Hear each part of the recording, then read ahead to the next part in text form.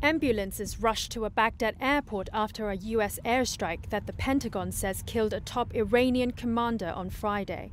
Qasem Soleimani was the head of the elite covert Quds force and a key figure within Iran. His death represents a new escalation in U.S. conflict with Tehran. The Pentagon says U.S. President Donald Trump authorized the strike and that it was, quote, aimed at deterring future Iranian attack plans. Reports from Baghdad Friday say rockets hit two militia vehicles at the city's international airport. It's said to have killed a number of people, including the commander of an Iraqi militia. Soleimani was instrumental in the spread of Iranian influence in the Middle East and the fighting in Syria and Iraq. The US and Saudi Arabia had struggled to keep him in check.